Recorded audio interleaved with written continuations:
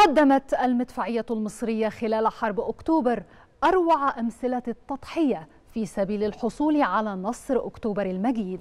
الفريق محمد سعيد الماحي قائد المدفعية المصرية أحد كبار قادة القوة المسلحة الذين شاركوا في تحقيق النصر.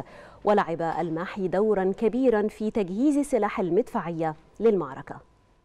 سوف نسلم أعلامنا مرتفعة هاماتها. عزيزة صواريخ.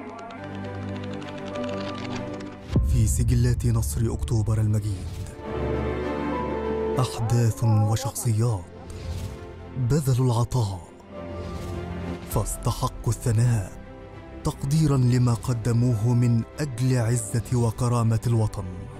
وفي تلك السجلات تسطع أسماء ورموز يتلألأ ذكراها في السطور والكلمات.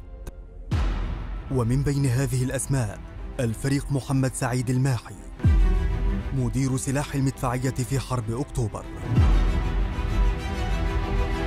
ولد الفريق محمد سعيد الماحي في الأول من فبراير عام 1922 والتحق بالكلية الحربية عام 1939 وتخرج فيها في الأول من يونيو عام 1942 ضابطا بسلاح المدفعية. شارك في حرب فلسطين عام 1948 وبعد قيام ثورة يوليو عام 1952 التحق بالعمل في وحدات المدفعية المختلفة وسافر ليشارك في حرب اليمن ثم عاد ليتدرج في الوظائف القيادية بسلاح المدفعية وصولا إلى مدير سلاح المدفعية في الثالث والعشرين من يوليو عام 1971 ليبدأ في إعداد وحدات المدفعية لمرحلة خطيرة من عمر الوطن.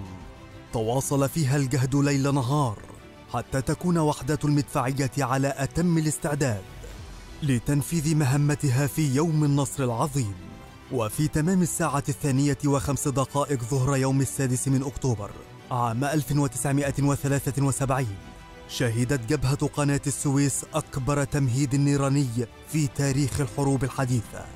والتي تكبد العدو من خلالها خسائر فادحة في الأسلحة والمعدات والأفراد مما كان له أثر كبير في تحقيق النصر المبين.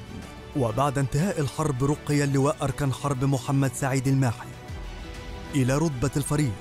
بعدها تولى منصب كبير اليوران برئاسة الجمهورية ثم رئيسا لجهاز المخابرات العامة من عام 1978 وحتى عام 1981 بعد ذلك عين محافظا للإسكندرية. وفي العشرين من يونيو عام 2007 رحل الجنرال الصامت الرهيب في سكينة وهدوء بعد أن أدى دوره العسكري كرجل مخلص من أجل عزة مصر ورفعة قواتها المسلحة.